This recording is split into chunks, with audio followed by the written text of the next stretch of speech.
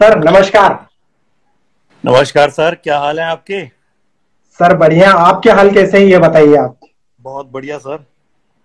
Sir सबसे पहले तो थैंक यू कि आप इतने ज़्यादा बिज़ी उसके बाद भी आपने मेरे लिए टाइम निकाला। सर ये just I just want to say कि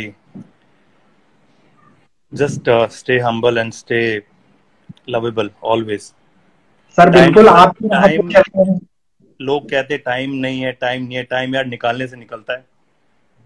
जी सर बिल्कुल और आपके पास तो इतना काम है इतने आपके प्रोजेक्ट आने वाले उसके बाद भी आपने हमें टाइम दिया जिसके लिए तो सर जितना थैंक यू करो उतना कम है। नहीं नहीं ठीक है बाकी क्या चल रहा है ज़िंदगी? कैसे कोरोना कैसे बीत रहा है?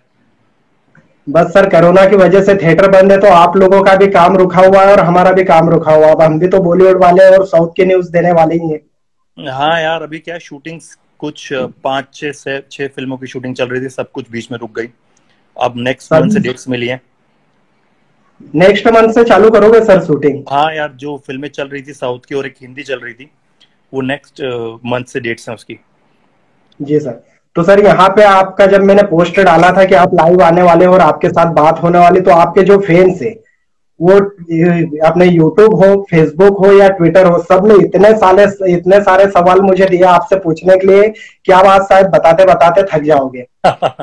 यार ये सब इनका प्यार है यार जो मेरे जो मेरे सर बहुत प्यार करते हैं। आपने भले आज तक साउथ की फ़िल्में की हो लेकिन आपके नॉर्थ इंडिया में जितने फैंस है ना इसका कोई काउंट ही नहीं है। मतलब करोड़ों फैंस आपके ऐसे नॉर्थ इंडिया में जो हिंदी डब फ़िल्में जब यूट्यूब पे आती है तो अगर आपका नाम आ जाता है ना कबीर दुहान सर तो फिर वो उस फ़िल्म को देखने लग जाते क्योंकि उन्हें पता है कि चलो हीरो कोई भी हुआ तो धक्का लेंगे।